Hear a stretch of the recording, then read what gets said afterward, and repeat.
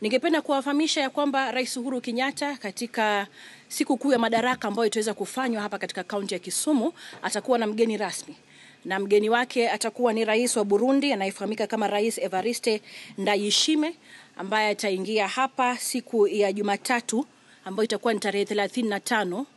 ah, atakuwa hapa kwa ziara ya kikazi ya kiserikali ya siku mbili, na atakuwa bila shaka ameandamana na baadhi ya mawaziri, bila shaka na wafanyabiashara.